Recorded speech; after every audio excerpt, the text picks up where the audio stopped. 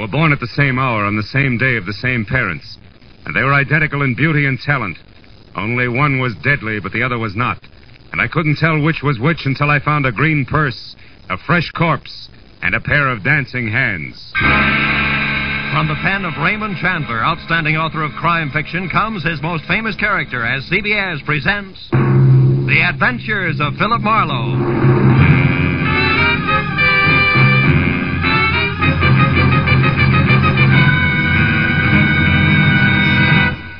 Now, with Gerald Mohr, starred as Philip Marlowe, we bring you tonight's exciting story The Dancing Hands.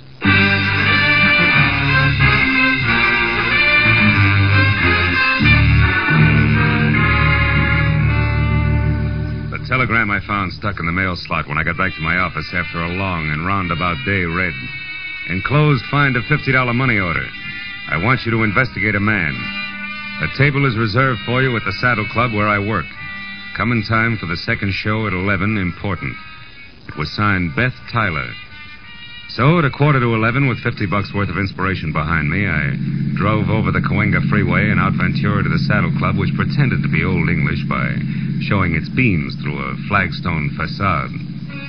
I went in the carefully rough-hewn oak door, and even before my eyes became adjusted to the cozy lack of candle power inside, Neil Redmond, owner and operator of the place, glided toward me, sporting his genial host smile, which tonight was even more forced than usual. How are you, Marlowe? It's been a long time. Business a pleasure, Phil. It's always a pleasure to come to the Saddle Club, Neil. I've even got a reservation.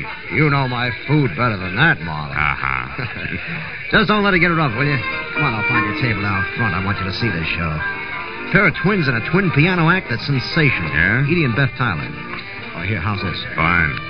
Incidentally, uh, Edie will be the one on the left. With the twins, what's the difference? Funny. Edie may be Mrs. Redmond one of these days. What do you mean, Oh. Redmond, but you are wanted on the phone, sir. Uh, get the number, George, and I'll call back. This gentleman said you would talk to him, sir. It is uh, Mr. Paul Cedar. All set. Oh, uh, yeah, yeah. Excuse me, Marlowe. Uh, this is important. I better take it. Redmond reacted to the name Cedar like a punch in the nose. But I figured that was none of my business, which was more than I could say for a flabby, dull-faced character at the next table, who followed the nightclub owner all the way out of the room with a pair of watery red eyes, which he deliberately avoided turning in my direction. But at that point, an MC stepped out on the stage, and so I stopped worrying about Flabby in favor of a first look at my client. The Saddle Club is proud to present its second show of the evening, featuring the incomparable piano stylist Edie and Beth in Dancing Hands. Here they are, ladies and gentlemen. Bring them out. Curtains parted on a stage set with an oversized full-length mirror which reflected a grand piano, a black vase of yellow flowers, and a tall brunette with a wry, crisp waistline, who touched up a piled-high hairdo, put on a pair of long black gloves, checked her hemline, and sat down at the piano. Then she ran through an involved arpeggio while her reflection in the mirror looked on in admiration. It was an old but cute routine, and the illusion was perfect because the Tyler twins were practically identical. I took another look at Flabby, whose face was pushed up in a nasty leer. He stood up, dropped his cigarette into his drink, and tossed a crumpled bill down on the table, just as the lights went out for the trick part of the act. On the dark stage, two pairs of purple hands danced over two glowing silver keyboards, It would have been good except that the pair of hands on the right, which belonged to Beth, suddenly stopped in midair and hit blue notes like a nine-year-old at her first recital. When the lights came up again, my client's face was as white as Middle Sea, and the flabby character, oozing a victorious smile, was on his way to the door. Well, they wrapped it up fast after that, and Beth ran into the wings, leaving Edie to take the bow alone. The band took over in a hurry and brought things down to normal. So as couples moved down to the dance floor and George the waiter headed for my table, I sat back and waited for that message from my client. Here you are, sir. Compliments of the house. Oh, thanks. Any message with this? No, sir. Just that Mr. Redmond had to leave. Oh, thanks, George. I sipped the double scotch and wondered if I should take the initiative and contact my client. When the message I'd been waiting for came, good and loud. I jumped up, shoved my way through the gaping dancers to the dressing room hallway behind the stage. A gang of club personnel was bunched in front of a door, obviously locked, labeled Edie and Beth Tyler. It was one of the twins, Hey, what's the matter? It's one of the twins. She screamed. We got to get in. Uh, that door's locked. Break it down. Uh, but I. Get out of I- the way. It's Edie. It's Edie. All right, Now, now, what wait a minute. Wait a minute. Hold it. She's all right.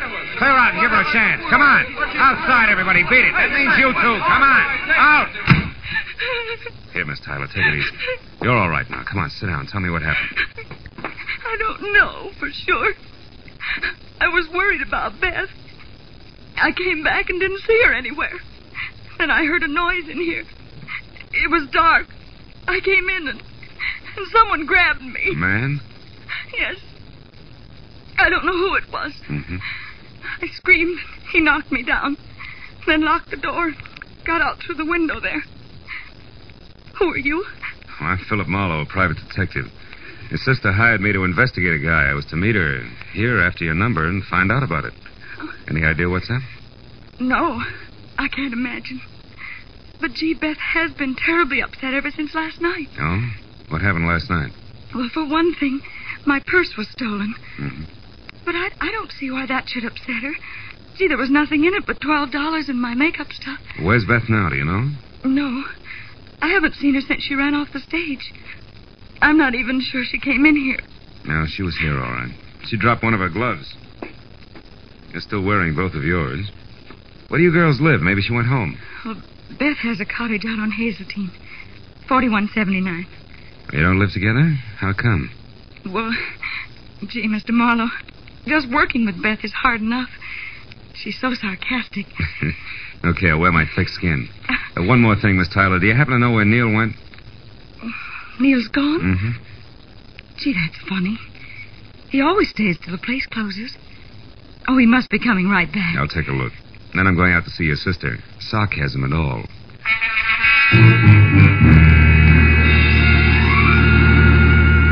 I spent ten minutes questioning the help on the whereabouts of the boss and got nothing but double talk for answers. So since I was still carrying Beth's glove around with me, I dropped it in my pocket and went outside to my car. I'd opened the door and slid far enough under the wheel so I couldn't back out before I realized that the dough-faced Flab was already there on the seat. His right hand wrapped around something blunt and menacing in his sloppy jacket pocket. You better come on in. What are you doing in my car, blubber boy? Don't get sassy now, mister. And the name is Sippy. That's no improvement, and it's no answer. All right. I, uh, saw you inside making with the big talk, so I says to myself, he's an interested party. I should look him up. Maybe we can do business together. All right, stay over there. What kind of business? I'm particular about the gutters I crawl in. It has to do with the twins inside there. You can get in touch with me later for further details. I got an angle, mister. You'll see when I leave. Yeah? When you tried to work that angle, you got to the wrong twin in the dressing room. Do you know that? I don't know what you're talking about. Mm-hmm. Okay, Sippy. Where can I reach you? You'll find out if you really know what's up. Don't try to follow me, though. I'll be seeing you. When Sippy slid out of the car and beat it, I made one move after him and then stopped cold. Because lying on the seat where he'd been sitting was a green leather handbag with the name Edie etched on it. I snapped it open. It had been stripped of everything but the scent of Emir and the smudged slip of paper that read, Number 9 Arrow Motel, Lankershim Boulevard. So that was Sippy's address, and he had the stolen purse. But the why of all the commotion over 12 missing bucks was still the number one question mark. And I figured the best place for an answer to it was at Beth Tyler's. So I drove out to Hazeltine. But even before I stopped at number 4179, I heard the piano. I walked to the door and stood there a moment listening. Hmm. I eased it open, slipped inside.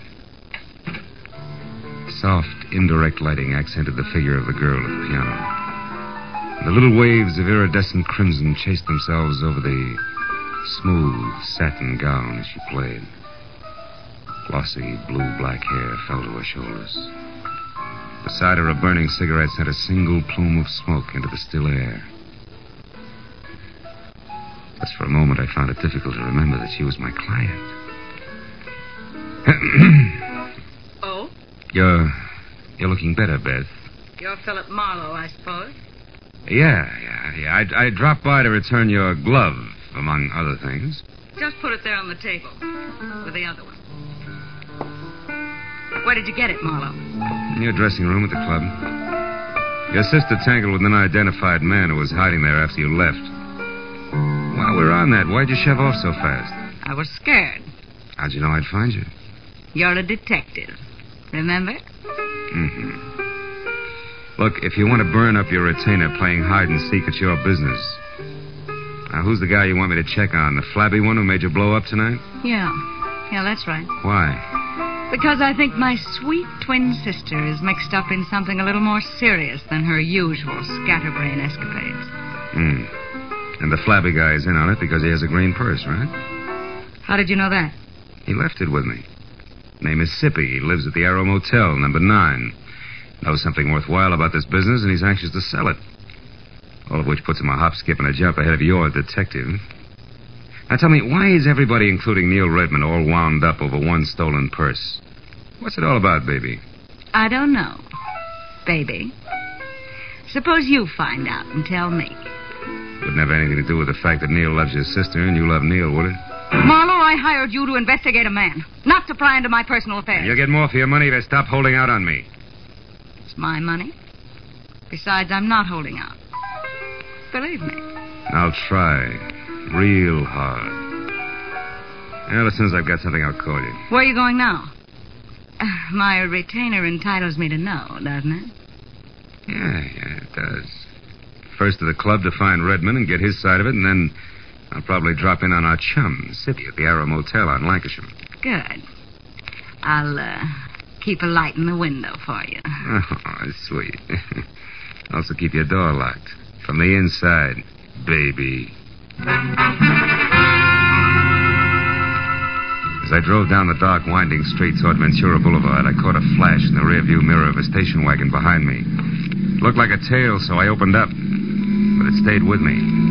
When it swung out into the left lane to pass, it suddenly cut in front of me. I jammed on the brakes as the spotlight flashed at my eyes, and when my front wheel banged against the curb, I was already half out of the car. Stop right where you are, fella. Don't come one inch closer, I'll drop you.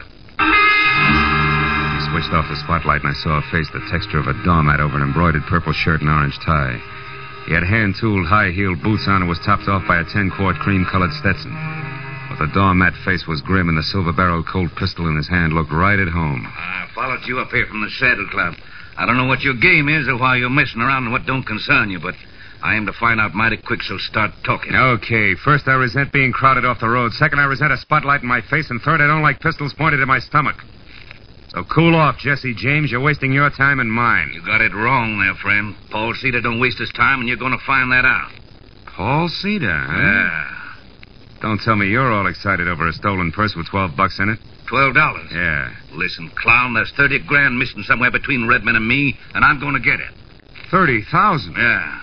Redmond's a high roller, and that's okay with me. But he lost it fair and square in my joint over in Nevada, and I've been holding his markers much too long.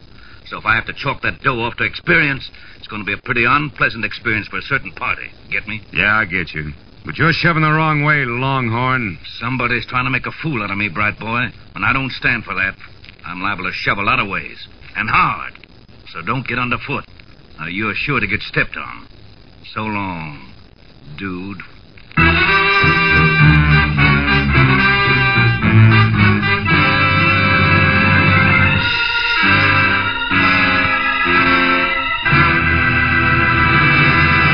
In just a moment, we'll return to the second act of The Adventures of Philip Marlowe. But first, tomorrow marks the anniversary of an important event in American history the signing of the first peace treaty between the Indians and the Plymouth colonists. In commemoration of these events, CBS's Sunday night stars, Amos and Andy, will be found with a kingfish burying the hatchet deeper than ever in their hopes and dreams. And CBS's own Jack Benny will be back again tomorrow with his special guest, Van Johnson. Invite some friends over. Sit back and enjoy the Jack Benny program. You can hear Amos and Andy every Sunday on most of these same CBS network stations, and Jack Benny over them all. Now, with our star, Gerald Mohr, we return to the second act of Philip Marlowe and tonight's story, The Dancing Hands.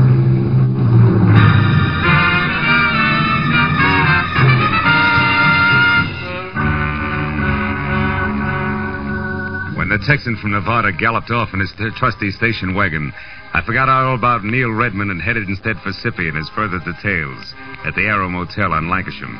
where Bungalow 9 turned out to be an all alone green and white collection of clapboard that showed light, a half open door, and nobody home to my knock.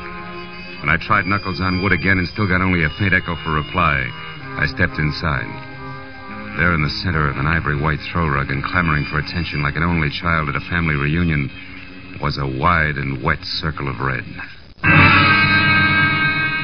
From there, the ugly splotches that narrowed as they got farther away trailed off until, finally, in the next room, the path ended where I expected it to. The quiet form of Sippy, sprawled over an upset chair and holding his hands tight against the red on his left side. When I got to him, he was going fast. Thirty grand. A lot of dough. Didn't know I was shooting that high, and the, the twins. The twins. One, One what, Sippy? one of them. Did one of them do this? One. To... He's dead, isn't he, Marlowe? Yeah. Yeah, Redmond, he's very dead. Oh, no, Marlowe. I only found him a few seconds before you did. Yeah, and the rest of that run, you heard someone coming, you didn't want to be seen, so you ducked back out of sight, huh? I don't buy it, Redmond, because for one thing, it's too pat. For another, how do you explain being here in the first place? Come on, fast. Okay, I'm here because I'm in a nasty jam. Like what? Like $30,000 I've got to pay in the next hour to a guy named Paul Cedar who's running out of patience in a hurry, believe me. About that, I do. I've already met the gentleman. But right now, Redmond, we're talking about Sippy. Okay. Last night I had things to do, so I gave Edie Tyler the money for the payoff to Cedar. A couple of minutes after she stepped out of the club, somebody roughed her up and got away with her purse and the 30 grand. You're a liar, Redmond. Edie herself told me that purse only had 12 bucks in it. How come? Simple like, Marlowe. In my business, you never yell copper too soon or too loud. It doesn't pay. Mm-hmm. Now, look, for the third time, Redmond, you and Sippy, how do you figure? I don't know. He was at the club tonight, acting funny. When he left, I got a glimpse of Edie's green purse sticking out of his topcoat pocket. Later on, I saw him run away from the car near the club, so I followed. I ended up here a couple of minutes behind him, and that, Marlowe, was the truth, I swear. Which you do at the drop of a. Uh... Hey, wait a minute. Look, if you're telling the truth, I begin to get a different picture. And by that, I specifically mean a very talented but very sly dame named Beth Tyler. Oh, no, Marlowe. Why not? Because you love Beth's sister?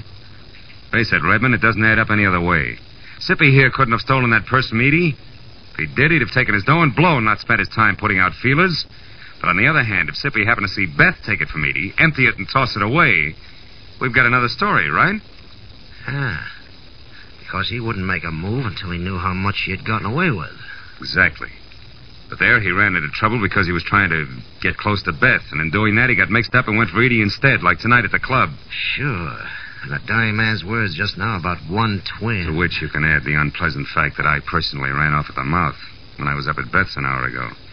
So she knew where to come for Sippy. Look, Redmond, it's got to run that way. I'm sure of it. Well, maybe you're right, Phil, but right or wrong, I'm still in the jam. So if you don't have any objections, I'm going back to my club now for a last try at raising that money again before Cedar shows. You mean you're going to face him, Neil, with or without it? I've got a Marlowe. You see, I own a fast club, all right, and I gamble a lot, too. But I don't welch on my markers, no more than I knock over flabby little guys. You know what I mean, Phil? I think so. But don't fold now, Neil, because I might still be lucky enough to catch up to Beth Tyler and your money both before your time runs out. And right now that means fast to a phone and a call to Edie, who might know which way a runaway twin would head. I'll see you, Neil.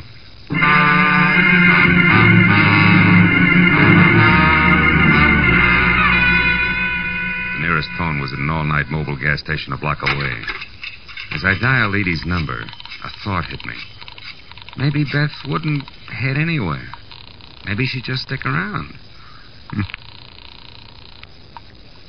Hello? Edie, this is Marlowe. Seen anything of Beth? No, I haven't. But why? What is it, Marlowe? Well, from where I stand, two things. First, your sister has the thirty thousand and twelve dollars that was in your purse last night. Oh? And second, she's just about it for a sloppy around the edges murder. Oh. Now, look, have you any idea where Beth would head if she had to get out of town in a hurry? No, I don't, Marlowe. Oh, well, maybe somebody up around her place does. I'll call you later. Marlowe, wait. Are are you sold on this? I mean about the things you said Beth did? Just about, Edie. But for your sake, let's hope I'm wrong. All the way, honey. Goodbye.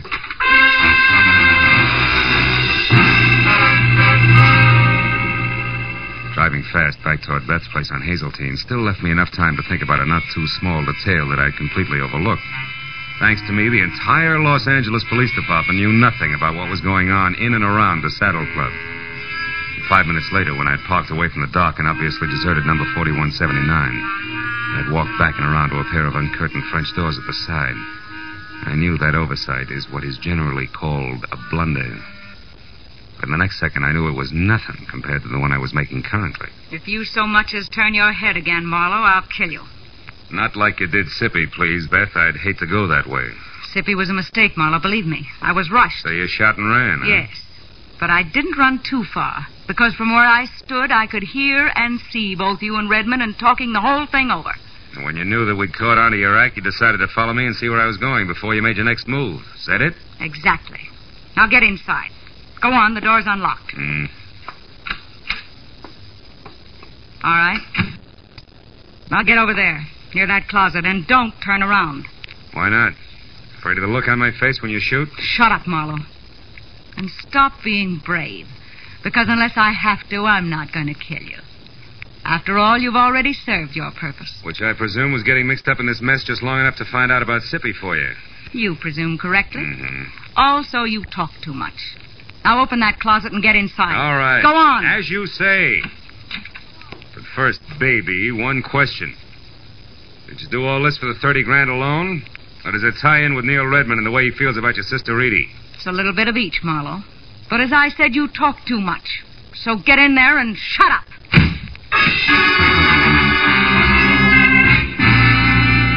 Getting out of Beth Tyler's half inch thick oak closet was like arguing with an umpire. You couldn't be subtle. So 20 tiring minutes went by, and the heels on both my feet were numb before the paneling finally gave in, and I was out and over to the telephone to put in a call to the police. It should have been made a long time ago.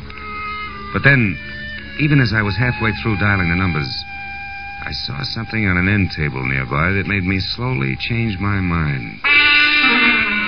It was the two black gloves that Beth wore in the Dancing Hands Act.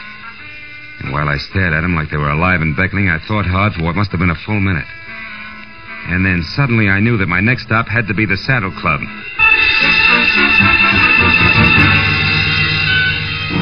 As I parked at the Saddle Club, I saw light drifting out of Neil's office, which was something I had expected. Inside, I moved along a dark hall toward what I knew would be the trio of Neil Redmond, the Nevada Texan, and Edie Tyler. All right, Redmond. The raucous voice of Paul Cedar was anything but happy. How stupid do you think I am? Oh, oh, that's Cedar. I'm telling the truth. Edie had the 30 grand, but somebody got it from her when she was on her way to you. That's a stinking lie, and you know it, Redmond. You never had the money. This whole thing's been a frame to stall me. And one way or another, I'm going to get you to admit that. No, you're not, Cedar. Huh? And if you don't drop that gun now, you're never going to do anything ever. Come on, let it go. Uh, All right. Now sit down and shut up and listen hard because Redmond's telling you the truth. what? Marlowe, you know where the money is? That's right. And I also know who took it. Less than an hour ago, a little after I called you, Edie, Beth caught up to me and confessed the whole shebang, exactly as we figured it, Neil. You mean she admitted getting the money from Edie and using you to locate Sippy? That's right. But there's only one drawback to everything she admitted. None of it's true. What do you mean, Marlowe? I mean, Cedar, that Beth Tyler didn't steal your money from Edie here any more than she killed Sippy. I also mean that as far as I can tell, Beth Tyler was nothing more than a girl who played the piano and got upset when a stranger named Sippy started to bother her. That I never saw the real Beth Tyler after she ran away from a piano in the club tonight. That she's dead and that you, Edie, have been posing as Beth all night because, one, you yourself stole Neil's money, and two, you murdered your sister as well. No! Yes, Edie, come on, admit it, it's true. No, no, it isn't. I. I guess it isn't that, Marlowe. In Beth's body? In our dressing room. In the closet. I didn't want to kill her. But she found out that I had only pretended to be robbed when there was no one around. And that Sippy had seen me scream and get rid of the purse myself. Sippy, who was only trying to muscle in on a deal, went to her by mistake, huh? Yes. That's how she knew what I'd done. When she confronted me in the dressing room just before you came in and said that she wouldn't stand by and let me do a thing like that to Neil. I lost my temper and You killed her, Edie. Yes, I did, Neil. And when Marlowe showed up after her scream, I said that someone had attacked me. And then I pretended to be both Beth and myself from there on to get out of the whole thing. And I. I almost did. But. But now I'm so sorry.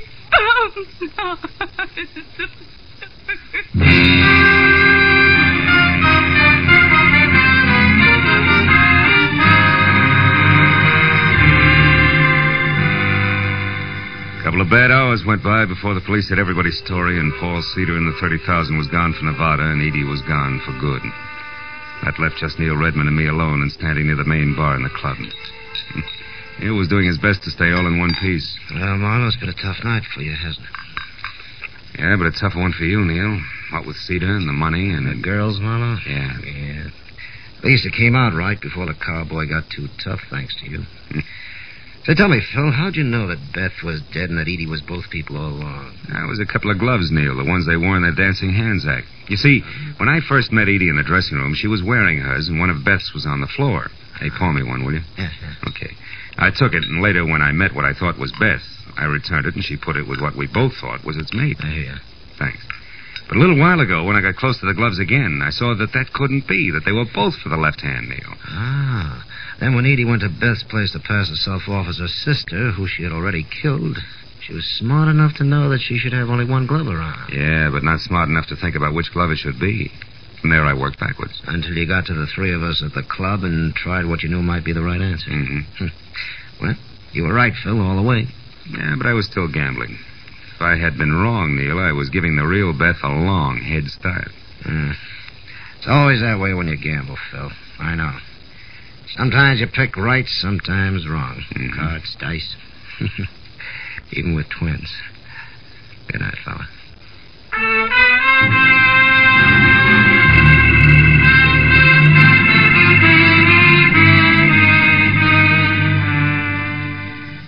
Finally got to my car, started out of the valley and back toward Hollywood. It was better than 8 o'clock in the morning. And here and there as I drove, I, I saw people who I'd never heard of and who, well, who'd never heard of me, stumbling outside after their morning papers. And I got to wondering what they were going to think when they read about a girl who had killed both her twin sister in a nightclub and a flabby guy in a motel who wasn't much good. Well, it was hard to say. And for myself, I was too tired to think. Or maybe I just didn't want to.